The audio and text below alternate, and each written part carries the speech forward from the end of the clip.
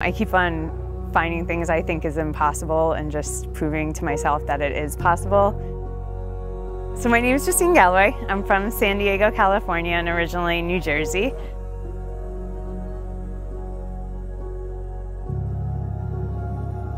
When I was in my 20s, I ran two Boston marathons and then the last Boston Marathon, um, I ended up at mile 18 going into the medic tent and DNFing. I eventually was diagnosed with something called runner's dystonia, which makes it difficult to run long distances forward.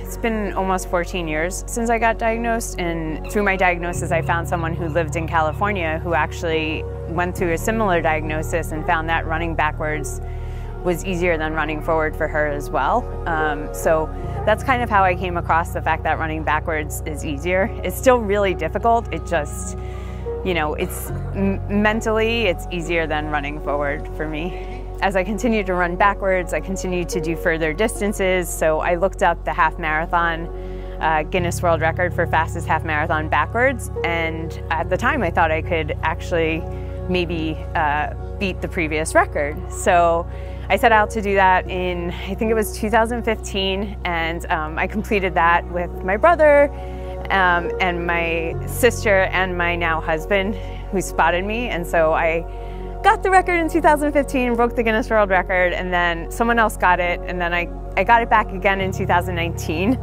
Someone else has it now, but um, I, you know, I was a, a walk-on to D1 running school. I never thought I'd have a Guinness World Record, so it's pretty cool to say you've had a Guinness World Record.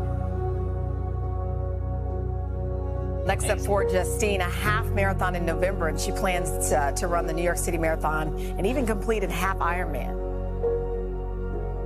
When I was running forward, I always thought I could do an Ironman, and I always wanted to do an Ironman. Um, and then when I got diagnosed with runner's dystonia, um, I didn't know what that future looked like. And so to go from not knowing what that future looks like and not being able to walk from my car to the supermarket um, without kind of breaking down to completing a half Ironman will be pretty awesome. So um, I sometimes forget to just be thankful for what I have and that I made it here to race day. And instead, I get in my head and get super nervous and super, sometimes negative. And, you know, I think my husband has reminded me, and, and people around me constantly remind me that, like, we made it this far. No matter what happens tomorrow, I made it to this point. And I did all the training and I trained with great people. And there's always another day.